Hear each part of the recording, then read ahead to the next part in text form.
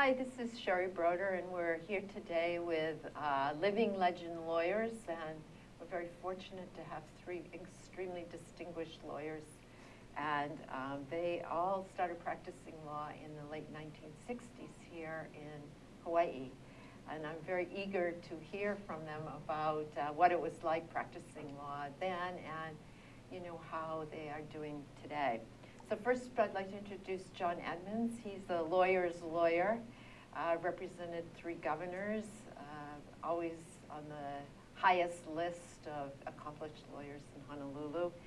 Um, we have Ed Kemper with us, and Ed is Ed went to Stanford Law School and is also a very famous lawyer here in Honolulu. Also well known for his expertise in automobiles, so I want to give him fair warning. I have a couple of questions about that.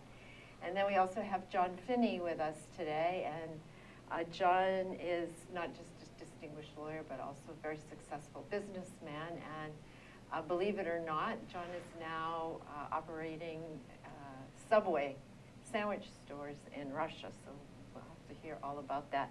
So I kind of want to start with John and Ed because uh, they came here in the late 1960s and uh, we're very, I'm very interested to learn about what it was like when they practiced law together. So they had a law firm together. John, could I ask you to give us some brief info on uh, what your law firm was called and how you guys, how did, and how you decided to come out here? Sure. Uh, well, Ed and I were partners along with Ian Maddock. It was uh, Maddock, Edmunds, and Kemper, and then Boyce Brown joined us. Now, interestingly, we had each all been with big firms. I was hired out of law school by a firm then called Robertson Castle and Anthony, one of the oldest and best. Ed was with Cade Schutte, one of the oldest and best, as was Ian Maddock. And then uh, Boyce Brown had been with Rick Schultz's firm, Quinn, Moore, Schultz. And um, we believed, idealistically, that we could form a law firm and devote a third of our time to pro bono work. Each of us had a, a cause that we wanted to put our time into. So what was your Mine cause? was the American Civil Liberties Union. I was president and chief counsel. Ed will tell you about his, but he was trying to save the Miloli'i fishing village. Ian Maddock was um, doing free work up at the university, but the most important or most significant thing we did was Boyce Brown went full-time uh, to fight the existence of the H3 freeway. And I'll never forget, we had a big room that, that was Boyce's room, and he, he was in there, that's all he did. The rest of us uh, tried to work two-thirds of the time to bring in some fees and the rest of the time for pro Well, bono he, work. he actually won those cases, didn't he? Yes. We all won some part of what we were doing, but Boyce's was the most Yeah. significant. Yeah, but in the end, the Congress passed a law and preempted uh, Boyce's lawsuit. So today we have H3. Hard to fight with that much uh, Yeah. money and cement. So Ed, what was your case about? Well, I had a number of them, but also we, we actually went to uh, low-income areas and provided pro bono services. We would uh, take turns. It was Kalihi Valley Homes. Yeah.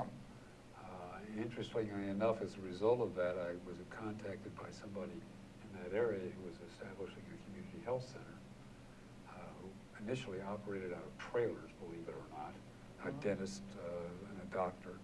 And now that's grown into Kokua Kalihi Valley, which very large and very successful uh, um, medical, med, medical dental clinic, and also does a lot of work in the area. And I'm still on the board after all of these years, Wow, only because of that uh, pro bono effort.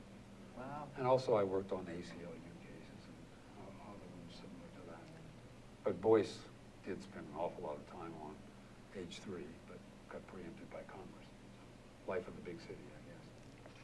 And so um, how about you, John, when you first started practicing law here in Honolulu, what kind of work were you doing? Well, I came out here with Carlsmith, you know, one of their alums, many, many alums, which I enjoyed greatly. Um, I was a, basically did everything, but primarily corporate law, got into real estate, and even some, you know, family law. So I had a general experience and a great experience with them. I spent about four and a half years with Carl Smith, and then went back to San Diego, practiced law. I had to take the Cal Bar, even though I'd gone to school in California. I never took it before. and that was a nightmare, but we had to get past the attorney's bar. And then I came back out here and practiced law with Jeff Grad, Finian Grad. We continued to do a lot of securities work and real estate securities work, you know, uh, partnership law. So I had a good broad experience to kind of launch my career business. I didn't spend a lot of time on pro bono work, but other than keeping some of my friends out of jail, so that was about it. But uh, I guess that's pro bono. We won't name any names, by the way. Well, no, I, I won't name any names, but you can imagine names. Anyway, uh, but I had a great, good, sound grounding in the law, and, and, and, you know, I had an experience working with a big firm and also with my own firm, which is a very small firm, and, and so I benefited greatly from the experience. And practicing law in old Honolulu, uh, there's a lot of gentlemen around and a few, few scallywags, but generally a lot of great guys like these guys. You know? Uh-huh. So did you all know each other back then? Yeah, we did. Yeah, we did. Actually, I think I spent more time with John, hard as it is to believe, out, out in the surf break off. That tennis courts, that- when it got big out there on the South Shore. Well, But uh, we did, and it's interesting to me, as we're going through this, to note that we were all from big firms. Uh-huh. We all got our starts with old, what you'd call old line or white shoe firms. And in those days, to come out here, you needed to spend a year uh, in apprenticeship before you could take the bar. And it was like a residency for a doctor, and I think it was invaluable. I think we all learned a great deal at that time.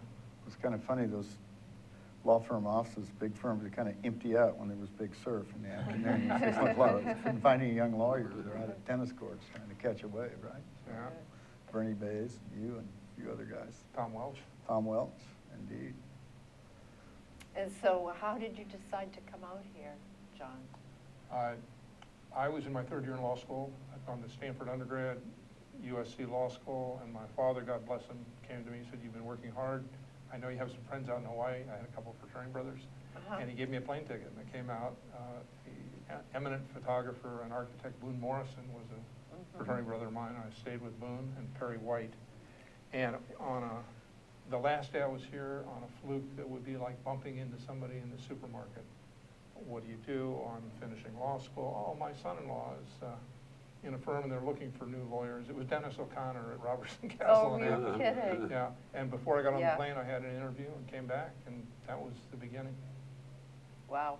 So how about you, John? What, how did you end up coming out here? Well, you know, this, this, this table bleeds Stanford red, but I was at Stanford and I got recruited, you know, I thought, what's not to like about going to Stanford for the summer? So I applied for a clerkship. And I got hired by a guy named Bob Bethay, who's the hiring partner of Carlsmith. And he hired me because I was from Oklahoma and he thought I'd fit great in Hilo. Well, I never made it to Hilo. Oklahoma, And I was, I was gonna be his Yeah. rodeo partner and that never turned out too well either, but that's how I ended It up. was your out here. rodeo background that made Well, you I think you were probably going made to it- be a perfect Made a big fit? difference. I was lined up with all these people lining up to interview with Carlsmith. Uh-huh. He hired me. It couldn't have been of any, any other reason. as He admits he needed a rodeo partner, so anyway. A rodeo partner with an IQ of 175, and a photographic memory, and, uh, Well, thank you, but no, that was a lot of fun. Wisely didn't follow up on the Yeah, rodeo it's part. It was very wise. Yeah, My limited experience with that. But no, you know, I, it was, Hawaii always struck me as an exotic, attractive place. I grew up in Oklahoma. I'd never seen the ocean until I was, went to Stanford, you know, so I mean, I was about twenty, nineteen, so I thought, man, this is great, you know. The water's warmer out there, they say, so that was all it took. And, and the guys were, you know, Carlsmith was a great, great firm to, to go to work for. I was privileged to, to work for him, and I learned a lot. Some great, great mentors there, some of the real senior members of the bar here that are still alive. Charlie Wichman, Jim Case, Jim Boyle, who's passed away. I, I mean, I learned a lot and learned it fast and learned it hard. So, you know, uh, wasn't all play, but there was a lot of play. You know, it was a lot of fun living here. So It still is. So once you, you came here, did you decide that was it? You weren't going back to Oklahoma? No way? I had a, I had a moment of weakness, and I went back to California. And Yeah. strangely enough, I was sitting in a seminar trying to learn something about California law, although I was a member of the California bar. I knew nothing about it, of course, you know, other than what was on the bar exam. And I sit there, and some guy was bragging about his tan. He said he just got back from Hawaii, and I'm sitting there, and it's kind of a gray, cold day, and someplace, I was in interior San Diego, I said, what am I doing here?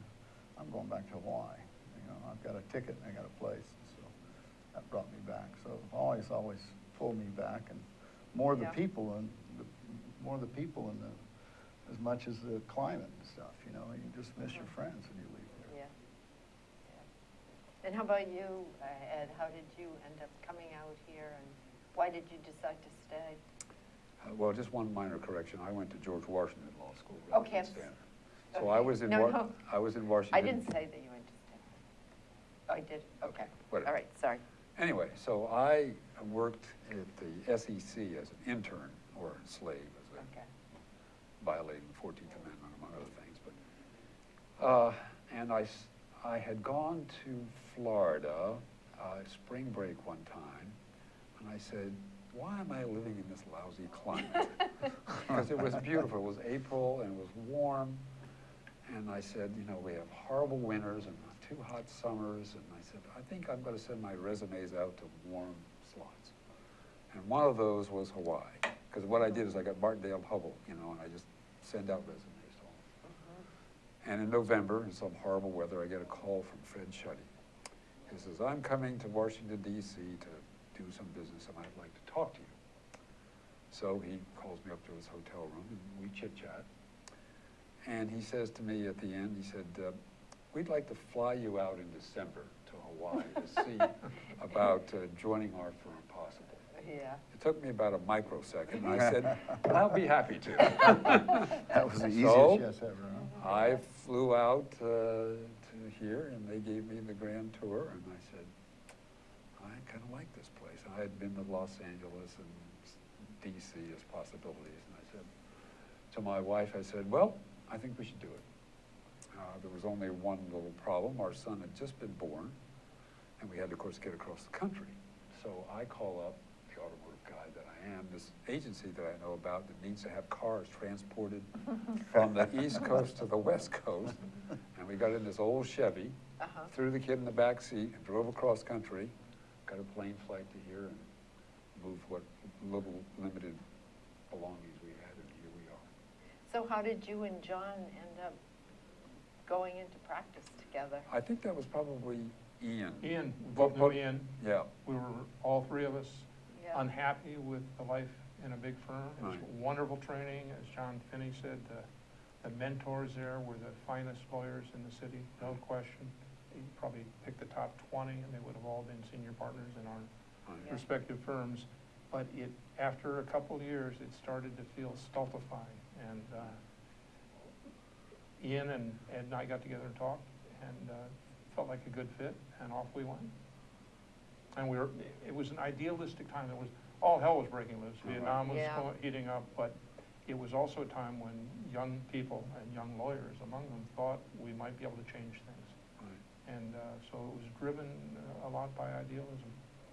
Well, I mean, the idea that part of your law firm was a, you know, a big commitment to doing uh, pro bono public interest work, I think that's, that's pretty amazing. Um, You know, now, of course, the Supreme Court has a rule, people are supposed to spend a certain number of hours every year doing pro bono, but e- even that is a very small sliver of time compared to what you folks were willing to make a commitment for, so that's, it's something uh, for us to uh, let the yo- younger people know about, that there was a time when people were really making that kind of a I- I- commitment. I I also want to also agree with John about the training that I received at Case, because they had four departments.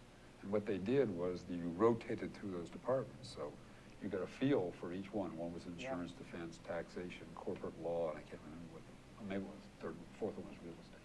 So you really were trained well.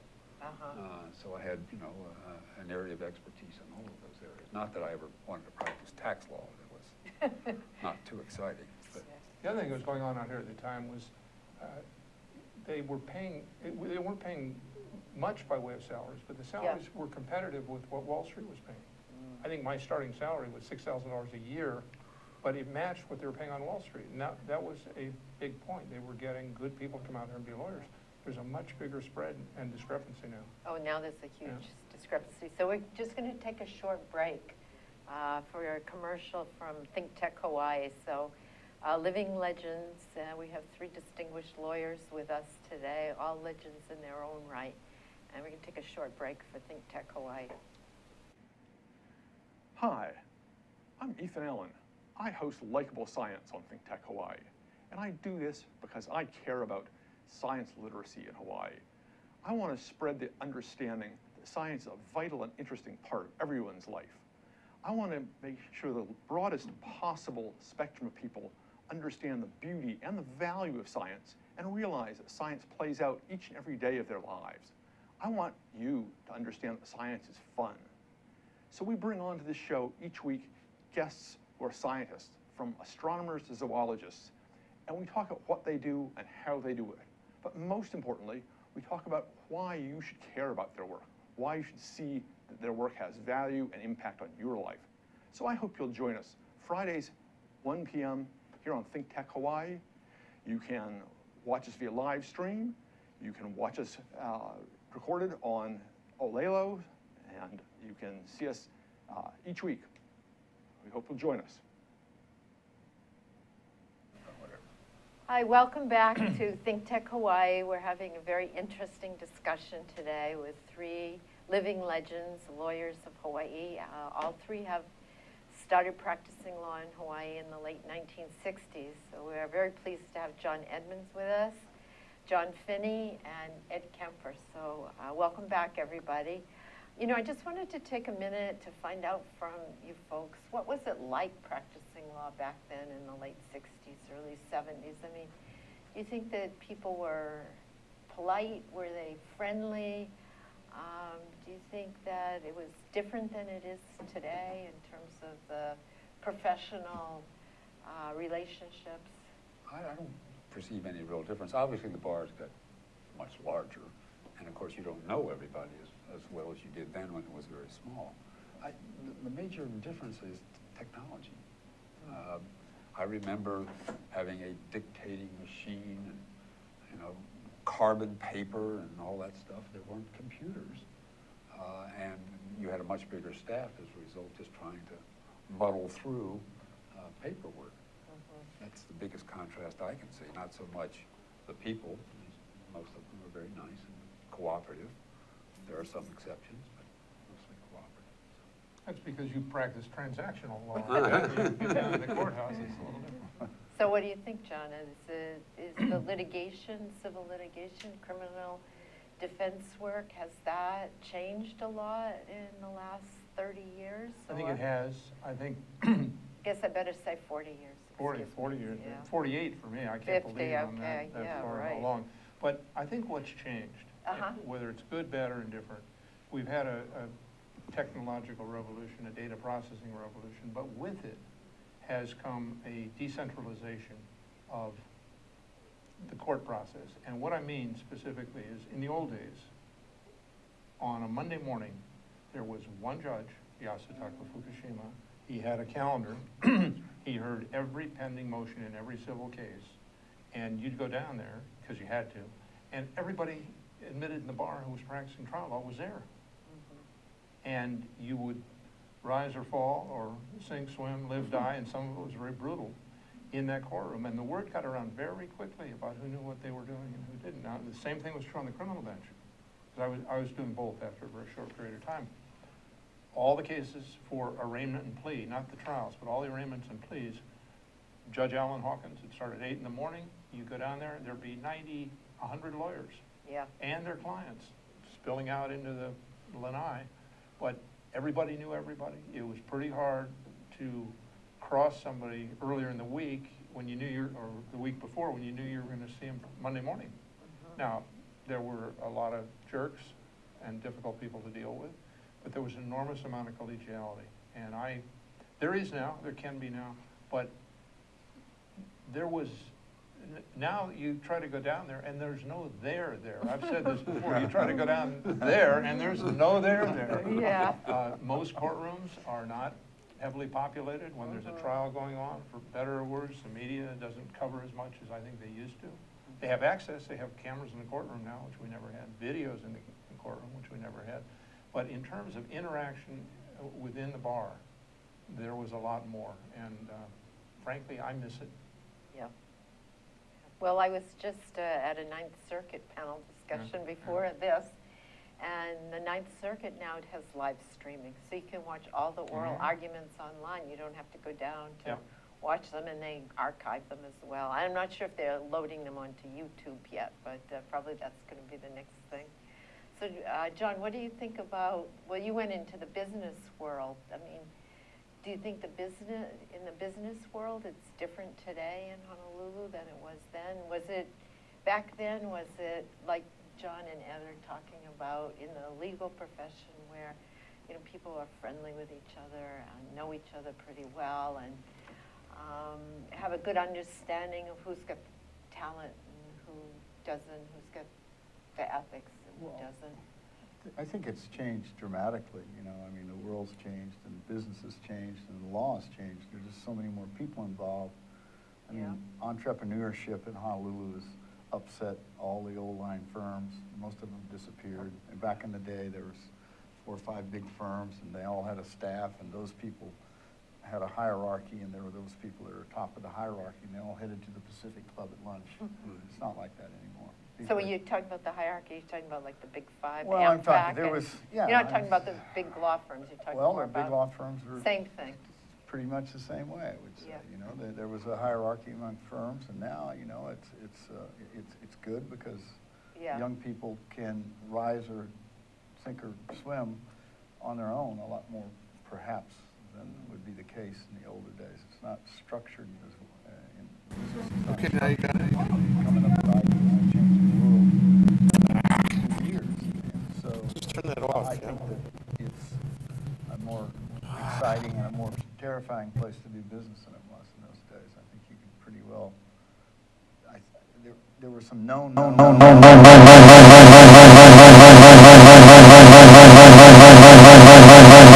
flow is so great that, you know, uh, we, I don't know, we've talked about ideal in Russia, but world events can change your net worth in about 24 hours, you know, and absolutely nothing to do with, you. So, so I think it's more of a challenge now than perhaps you have to be a little quicker on your feet than you did back when I first started out. That's my sense of it. So when you first started out in the business world in Hawaii, was a lot of uh, transactions uh, based on relationships? You know, who you knew and what kind of a relationship you had with them? Not in my experience. I mean, I think it was strictly hardball from the very beginning. You know, I think people have always held real estate and their deals close here, and they've always, we've had really, I think that more than, it's probably harder to get into business because of the way things are structured, the ownership of property and stuff was structured here when I started out. It's, it's begun to loosen up, of course, with the help of the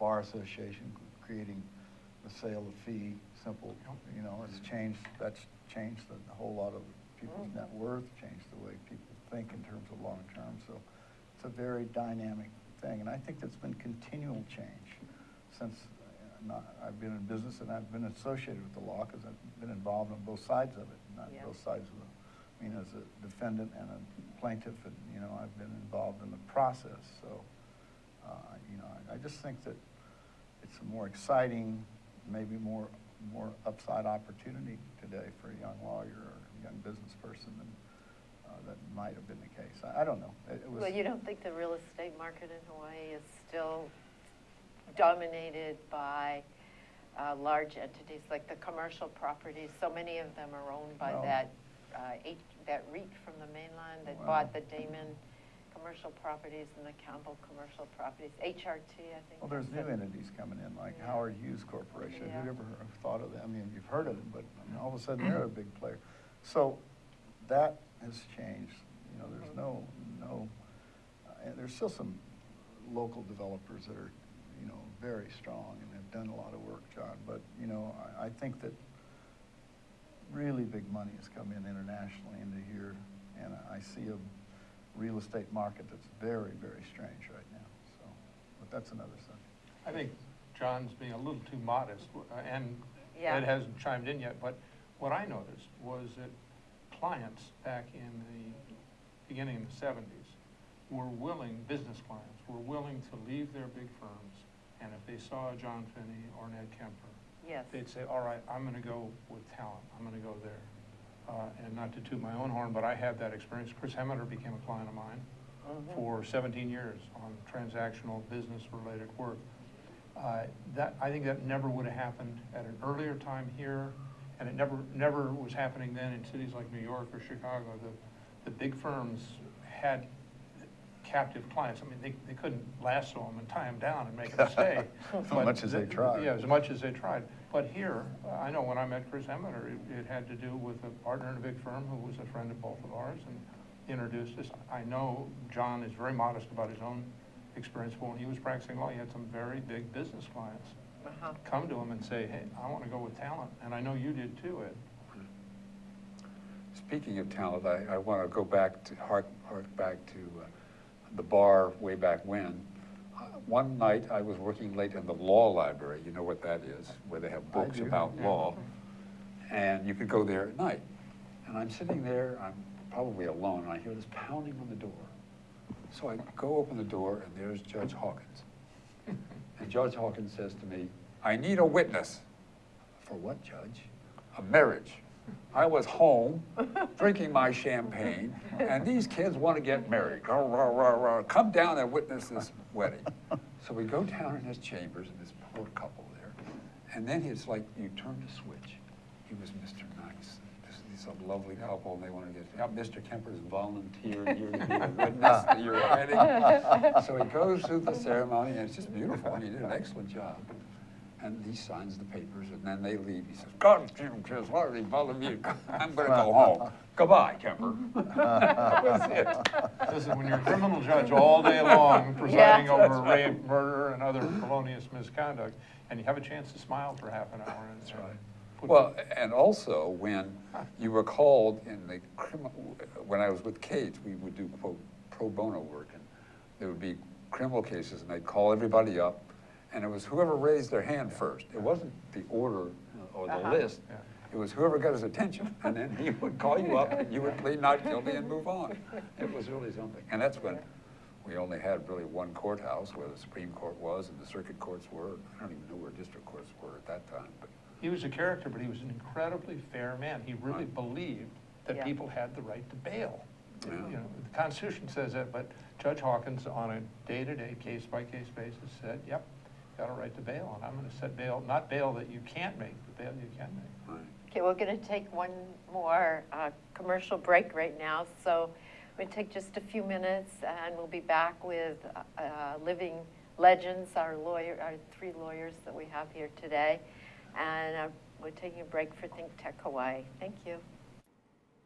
Hi, Jay. Hi, My name's- Keith.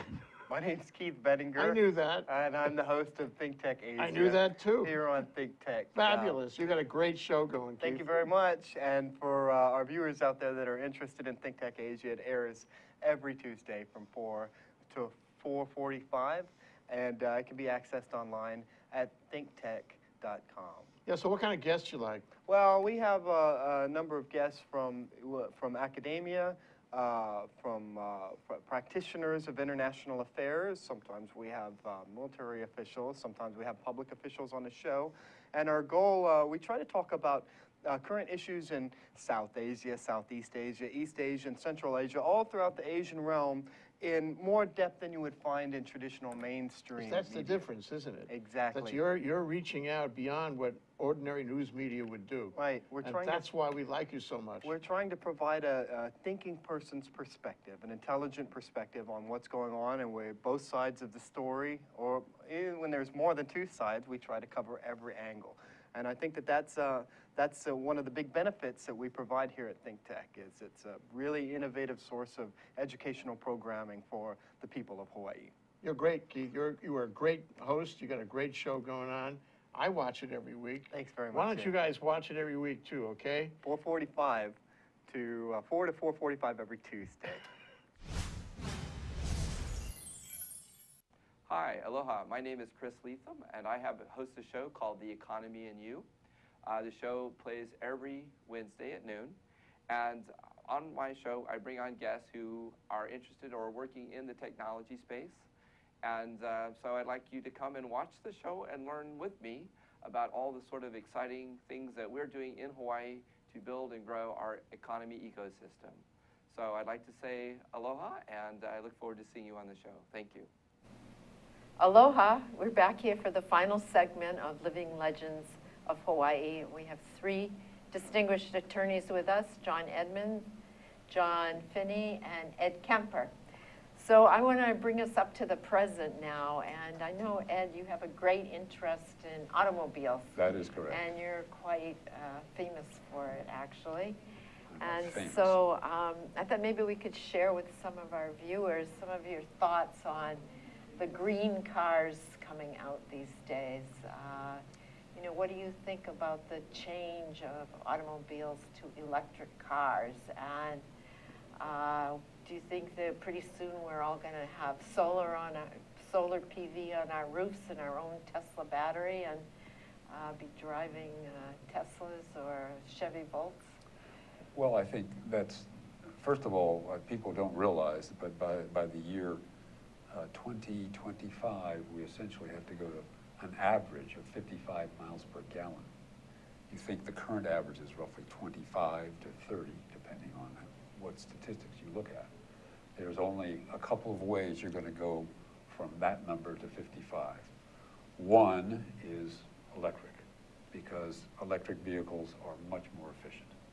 Uh, typical gas mileage rating for electric vehicles over 100 miles per gallon.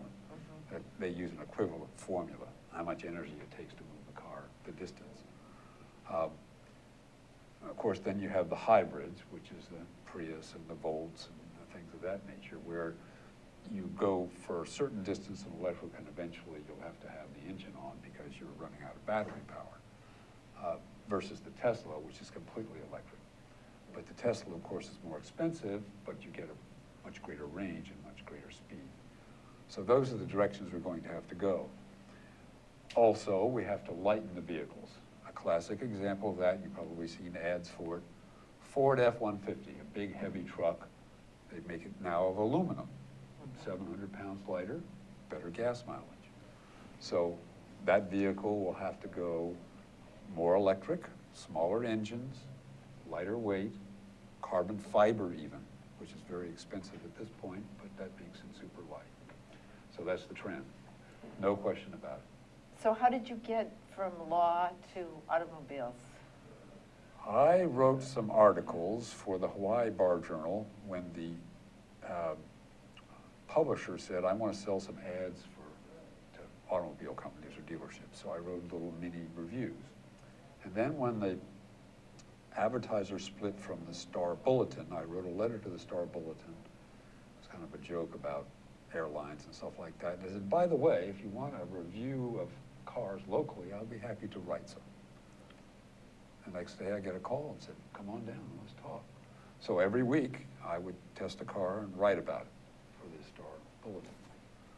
And then uh, the fellow that was associated with the Hawaii Bar Journal had a friend who had a video shop and right next to him and said, let's do a TV show based upon your reviews. I said, fine.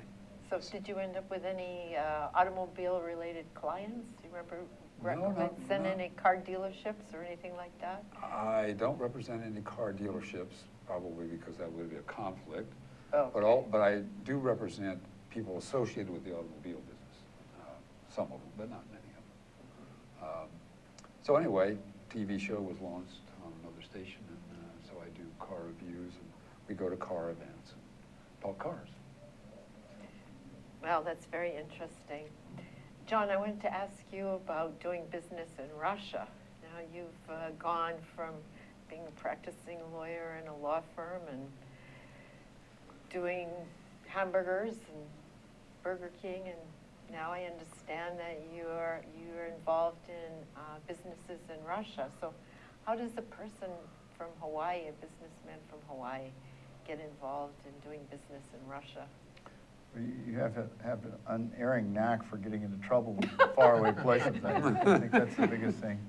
Uh, You know, I got involved because I got heavy into franchising, and, you know, there's a lot of law involved with franchising. I got to be pretty expert about it, being, bringing Burger King here with my partner Robert Pulley and selling that and being involved, but I got approached to some a couple of partners of mine who are also lawyers and wanted to get the Subway sandwich franchise rights for the nation of Russia, actually the Soviet Union. And then that exploded and we ended up with the nation of Russia. To make a very long story very short, we had our first restaurant in St. Petersburg, Subway sandwich restaurant. It was the leading Subway sandwich restaurant in the world Wow. in volume. In rubles, we were bringing rubles in by the handcart, you know, and we got that taken away by the Russian mob.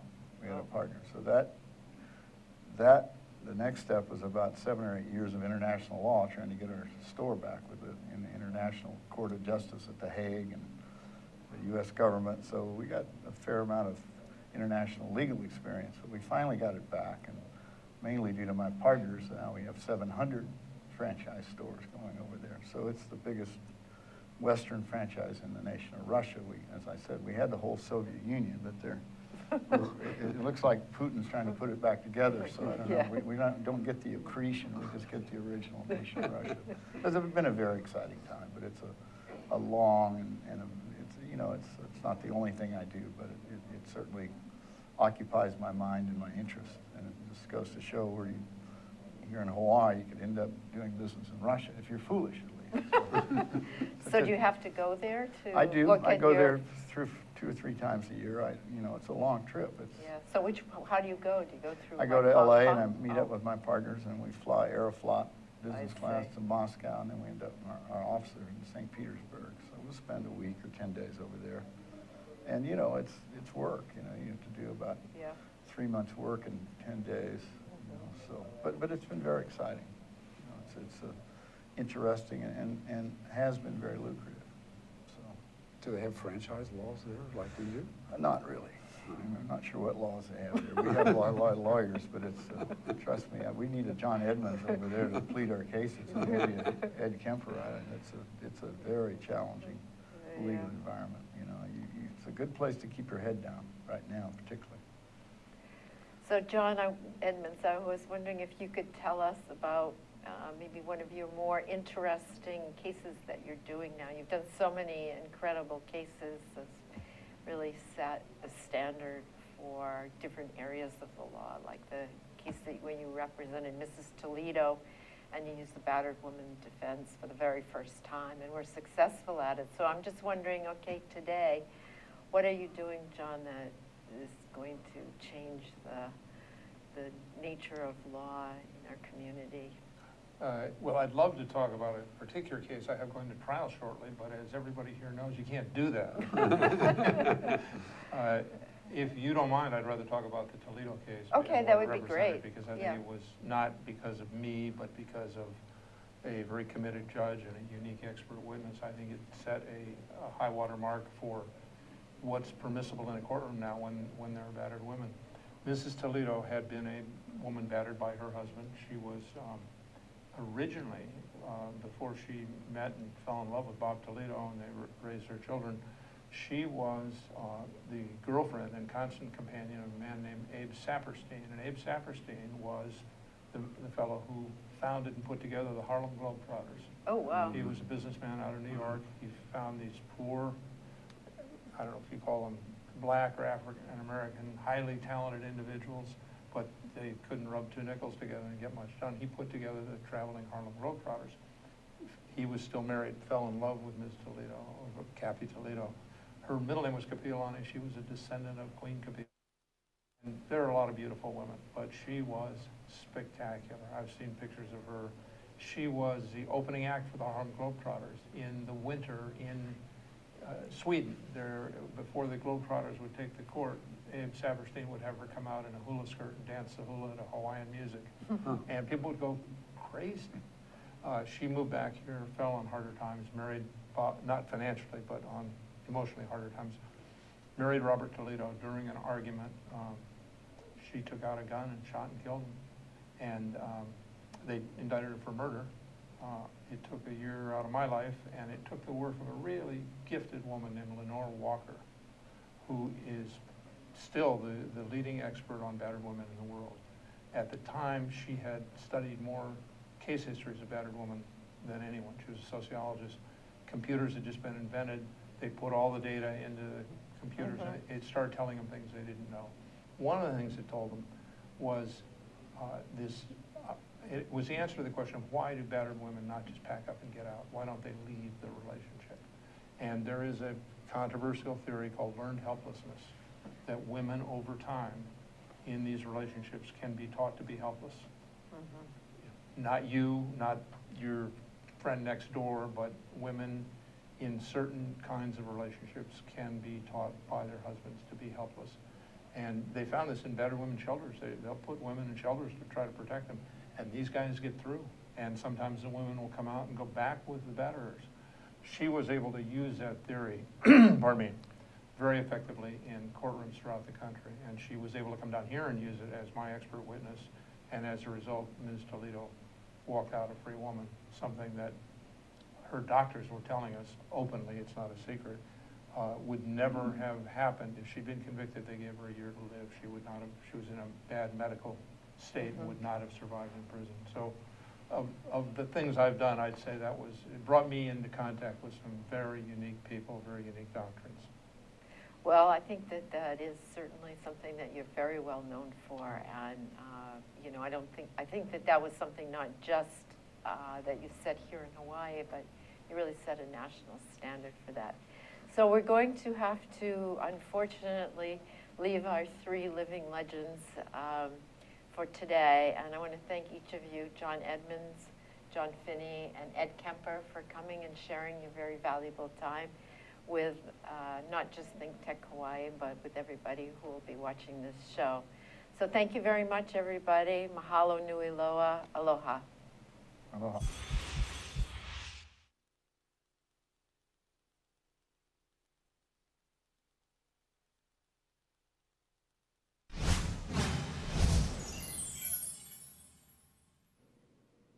Hi, I'm Jay Fidel of ThinkTech Hawaii. Won't you consider helping ThinkTech? We're a 501c3 Hawaii nonprofit corporation, now in our 15th year. Our model and very existence depends on ongoing contributions from our underwriters. We are very appreciative for their support. We're hoping you will consider becoming one of our ThinkTech underwriters. Unless our underwriters prefer to be anonymous, we publicize them on thinktechhawaii.com and on our daily email program sent to some 7,500 subscribers, our live stream talk shows, and our OC16 productions. With help from our underwriters, we have developed a high-tech video studio in Pioneer Plaza, and we now live stream 25 talk shows per week, covering science, tech, energy diversification, community, sustainability, and globalism for Hawaii. And we stream our earlier shows all night long. Our live stream is on thinktechhawaii.com. Check it out. We also upload all our shows to youtube.com, where we get 18,000 views per month. And we broadcast 12 hours per week on Olelo 54 and three and a half hours per week on OC 16. We also do monthly luncheon panel programs at the Laniakea, and we write a monthly column for the Honolulu Star Advertiser. We're really active. Our plans this year include improving the coverage, content, and production values of all of our programs, uh, and including more issues and guests relating to the neighbor islands, either by Skype or in person.